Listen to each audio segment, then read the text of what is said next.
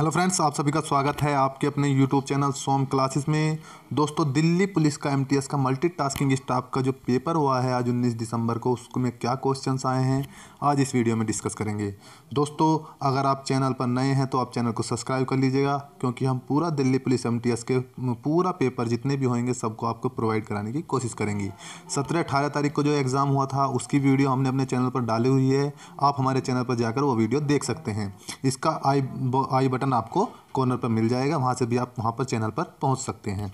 ठीक है दोस्तों स्टार्ट करते हैं क्वेश्चन क्वेश्चन जो पहला क्वेश्चन था, राष्ट्रपति पर महाभियोग किस अनुच्छेद के तहत लगाया जाता है? ये क्वेश्चन आया था। तो दोस्तों, मैं आपको बता दूँ, संविधान में अनुच्छेद इकसठ, संविधान में अनुच्छेद इकसठ राष्ट्रपति पर महाभियोग लगाने के लिए है। हमारे संविधान में अनुच्छेद इकसठ राष्ट्रपति पर महाभियोग की आज्ञा देता है। नेक्स्ट क्वेश्चन देखते हैं। नेक्स्ट क्वेश्चन है। क्वेश्चन नंबर टू गोली चलाने पर धक्का लगता है? क्यों? ऐसा क्यों होता है कि गोली चलाने वाले को धक्का लगता है?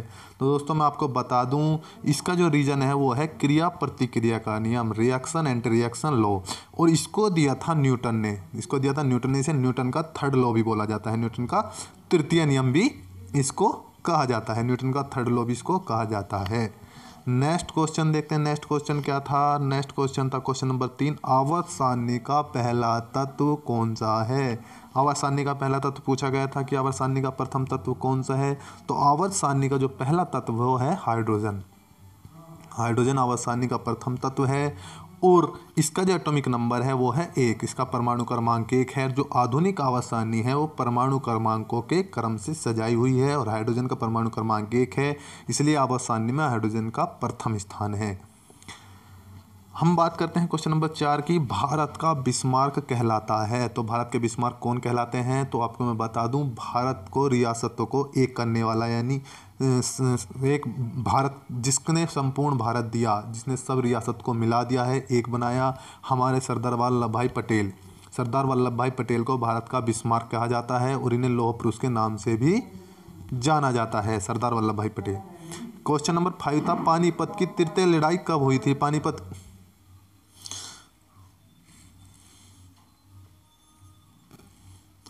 पानीपत की तृतीय लड़ाई। पानीपत की तृतीय लड़ाई कब हुई थी? तो दोस्तों, मैं आपको बता दूँ, पानीपत की जो तृतीय लड़ाई हुई थी, वो सत्रह सौ इकसठ में हुई थी और ये हुई थी मराठों एवं अहमद शाह अब्दाली के बीच में। और इसमें जो विजय हुई थी, अहमद शाह अब्दाली की हुई थी, अहमद शाह अब्दाली ने मराठों को इस युद्ध में हरा दिया था और ये माना जाता है यह मराठों की सबसे बड़ी हार हुई थी। क्वेश्चन नंबर छः के बारे में बात करते हैं, इलाहाबाद स्तंभ लेख किससे संबंधित है? इलाहाबाद स्तंभ लेख किससे संबंधित है? क्वेश्चन पूछा गया था तो इसका जो सही आंसर होगा वो है समुद्रगुप्त। इलाहाबाद स्तंभ लेख जो लिखा था वो, लिखा गया था समुद्रगुप्त के में लिखा था ये लिखा था हरिसेन ने। किसने? हरिसेन ने। स्तंभ, इलाहाबाद स्तंभ लेख, समुद्रगुप्त, हरिसेन। नेक्स्ट क्वेश्चन देखते हैं। नेक्स्ट क्वेश्चन था। क्वेश्चन नंबर सात से स्टार्ट करते हैं। प्राथमिक रंग कौन से हैं? क्वेश्चन आया था, प्राथमिक रंग कौन से हैं? तो प्राथमिक रंग है आपका लाल, हरा तथा नीला। रेड, ग्रीन तथा ब्लू। आर जी बी, ये जो रंग होते हैं, प्राथमिक रंग हैं, और प्राथमिक रंग वो होते हैं जो किसी से प्राप्त नहीं किए जा सकते। और द्वितीयक रंग वो होते हैं जो प्राथमिक रंग से प्राप्त किए जाते हैं। प्राथमिक रंग है लाल, हरा तथा नीला, तथा जो प्राप्त किए, द्वितीयक रंग वो होते हैं जो प्राथमिक रंग से प्राप्त किए जाते हैं। नेक्स्ट क्वेश्चन की तरफ़ बढ़ते हैं। क्वेश्चन नंबर आठ था, गाड़ी की हेडलाइट में कौन सा दर्पण प्रयोग किया जाता है? गाड़ी की हेडलाइट, मेन हेडलाइट में किस दर्पण का प्रयोग किया जाता है? तो दोस्तों, गाड़ी की मेन हेडलाइट में प्रयोग किया जाता है अवतल दर्पण का।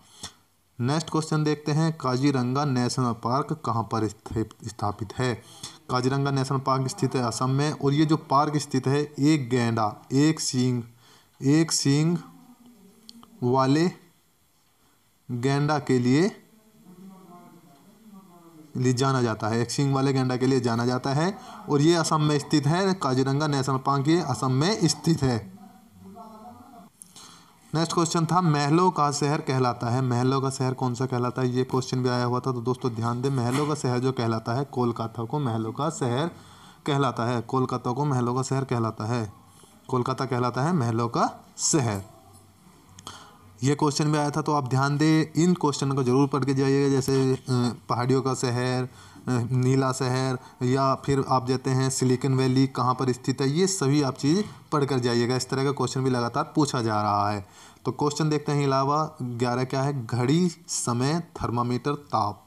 थर्मामीटर के लिए क्या ताप यूज़ होगा? और मैं इस क्वेश्चन की बात करूँ तो घड़ी, समय मापने के लिए प्रयोग की जाती है और थर्मामीटर प्रयोग किया जाता है ताप मापने के लिए। यानी नॉर्मली क्वेश्चन पूछे जा रहे हैं, ज़्यादा डीपली नहीं है।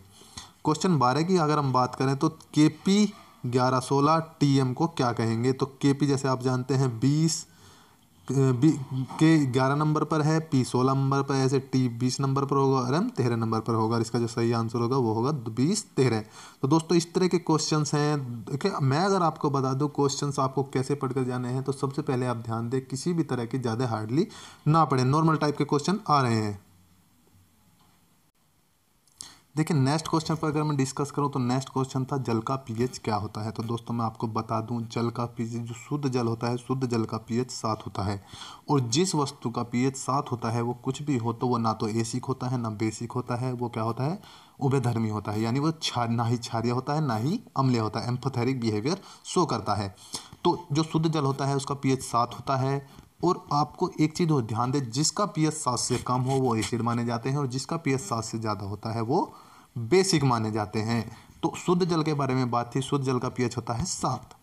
नेक्स्ट क्वेश्चन था, कोका का आंदोलन किसके द्वारा चलाया गया था? कोका आंदोलन किसके द्वारा चला गया था? ये क्वेश्चन इंपॉर्टेंट है, जो कोका आंदोलन चलाया गया था, बाबा राम सिंह कोके के द्वारा चलाया गया था। बाबा राम सिंह कोके के द्वारा कोका आंदोलन चलाया गया था। नॉर्मल क्वेश्चन और जनरली ज़्यादातर एग्ज़ाम में ये क्वेश्चन रिपीट होता है। नेक्स्ट क्वेश्चन था, पौधों की वृद्धि के लिए कौन सा हार्मोन्स जिम्मेदार होता है? तो पौधों की वृद्धि के लिए जो हार्मोन्स जिम्मेदार होता है, वो है आपका ऑक्सीन पौधों की वृद्धि के लिए जो हार्मोन्स जिम्मेदार होता है, वो है आपका ऑक्सीन ऑक्सीन के कारण ही पौधों में वृद्धि होती है.